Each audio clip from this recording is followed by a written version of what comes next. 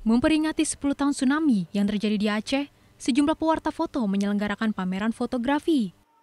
Acara yang berlangsung di Taman Ismail Marzuki, Jakarta ini digelar sejak tanggal 22 Desember dan berakhir pada hari ini, Jumat 26 Desember 2014. Pameran foto ini bertujuan memberikan edukasi kepada masyarakat mengenai bencana dan dampaknya bagi masyarakat. Menurut kami, inilah pentingnya foto ini dipamerkan agar mendidik warga negara, mendidik masyarakat bahwa kita hidup di daerah yang berpotensi ada pengulangan tsunami.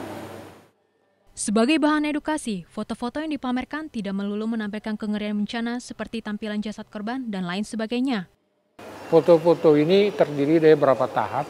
Foto yang sedang terjadi tsunami, ketika terjadi, setelah tsunami berapa saat, dan setelah terjadi rehabilitasi apa namanya eh, tsunami.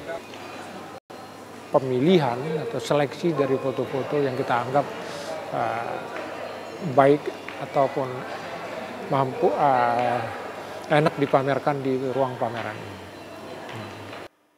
Pemilihan foto yang baik membuat para pengunjung bisa mendapatkan informasi tentang dahsyatnya bencana yang terjadi pada 26 Desember 10 tahun silam acara ini? Ya bagus untuk ke depannya, ibaratnya untuk putra putri kita untuk ke depannya ada sejarahnya lah ibaratnya bahwa pernah terjadi tsunami di Indonesia.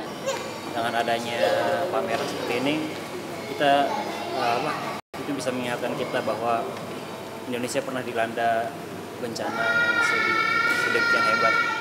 Dengan adanya bencana tsunami sebagai pengingat kita kalau manusia itu bukan uh, segala-galanya.